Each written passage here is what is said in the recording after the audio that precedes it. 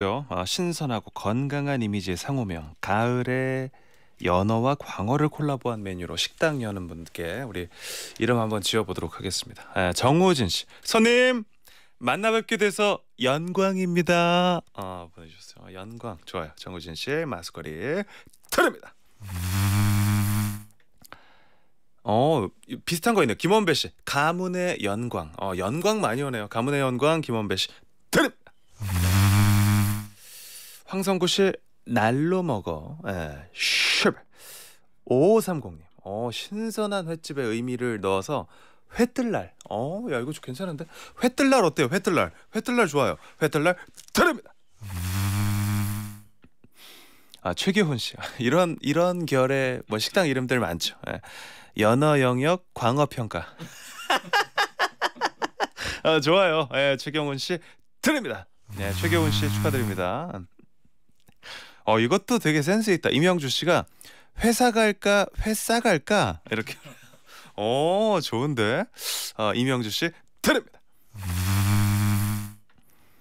이동건 씨 행복 회로. 오 행복 회로 행복 회로 이동건 씨 드립니다. 이번에 주식 코인 하시는 분들이 좀 싫어하는 단어거든요. 행복회로, 희망회로, 행복회로 이런 것들. 예. 2958님 고부 갈등에 이어서 동서 갈등. 어, 김용민 씨 먹다가 아비규환. 김성경 씨 생생 손질통. 네. 정미영 씨 영왕님 단골집. 예. 5044님이 약간 찬송가 느낌으로 보내주신데 연광 연광 연광 연광 연광 연광 연광 연광 5044님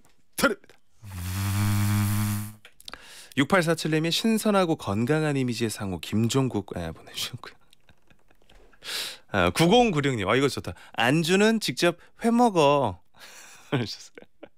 이고님 연광 검색어 연광 검색어 예, 좋은데요. 이고님 마스크 세트 드립니다.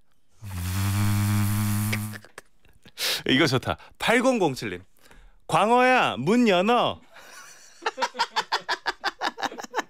아 좋은데요. 예, 8007님 드립니다. 네.